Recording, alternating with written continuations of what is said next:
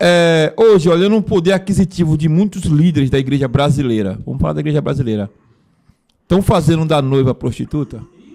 Rapaz. Forte esse, esse tema, hein? Mas Eu, pergunta eu, pertinente. é, eu, eu, eu, eu, vou, eu vou observar de uma seguinte maneira. Paulo diz que a igreja é imaculada. Então a igreja é improstituível, se é que existe essa palavra. Estou usando o neologismo.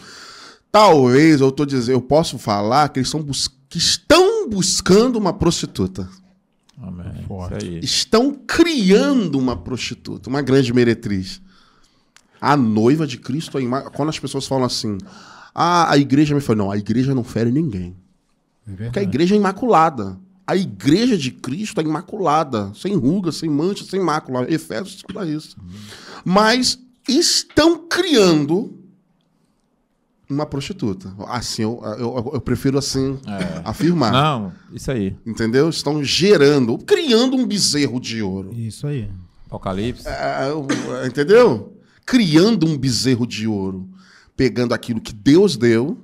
Porque se a gente analisar a história, a gente vai perceber com que ouro que o povo de Deus, o povo de Israel, criou aquele bezerro.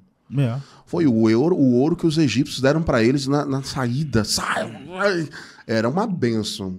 Eles pegaram a bênção e substituíram, porque eles falaram assim: Eis o nosso Deus que nos tirou do Egito.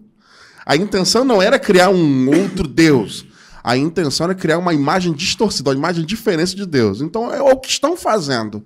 Um bezerro de ouro em nome de Deus. Esse é o Deus que, que nos tirou. Esse é o Deus que ele. Esse... Então a, a noiva é imaculável. O que estão fazendo, estão contratando, estão criando um monstro, uma prostituta com nome ou travestida de igreja. Eu posso assim, prefiro assim. É forte, Brasil. É, e essa